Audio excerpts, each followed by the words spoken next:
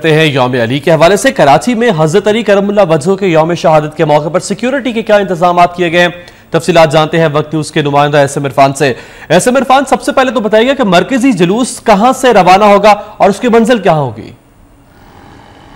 دیکھیں، آج جس طرح کے یوم علی کے موقع پر جو ہے، آج کراچی بھر میں جو ہے وہ جلوس نکالے جائیں گے۔ اس حوالے سے نشتر باغ سے گیارہ بجے جو ہے وہ جلوس برآمد ہوگا۔ ابھی تقریباً ساڑھے دس بجے جو ہے وہ مجلس ہوگی، جسے شہنشاہ علامہ حسین نقوی جو ہیں وہ مجلس پڑھائیں گے۔ اس کے بعد جو ہے گیارہ بجے، تقریباً ساڑھے دس بجے جو ہے وہ تمام یہ راستے بند کر دیے جائیں گے۔ اس کے بجے گیارہ بجے جو ہے وہ جلوس جو ہے وہ برآمد ہوگا۔ جو اب مرکزی راستوں سے جو روایتی راستے ہیں، ان سے ہوتا ہوا جو ہے وہ اپنے منزل مسعود تک پہنچے گا۔ اس کے علاوہ جو ہے یہاں پر جو ہے سیکورٹی کے انتظامات کیے گئے ہیں۔ اس میں پولیس کی جانب سے پانچ ہزار چھ سو ننانوے، جبکہ رینجرز کے جو ہیں وہ پانچ ہزار سے زائد جو ہیں وہ اہلکار جو ہیں وہ یہاں پہ تعینات کیے گئے ہیں۔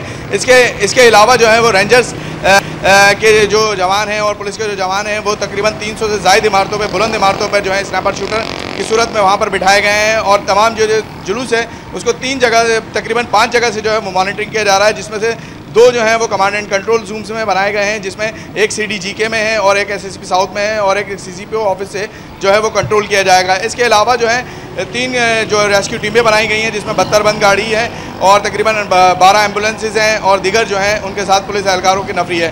تقریباً تین اسکاؤٹس کی ٹیمیں ہیں اور اس کے علاوہ جو ہے حساس دیے گئے ہیں عمارتیں، ان میں جو ہے یہاں پر جو ہے شفیق بلڈنگ ہے اور اس کے علاوہ جو ہے پریس مارکیٹ ہے اور بولٹن مارکیٹ ہے لائٹ ہاؤس کی طرف ہے۔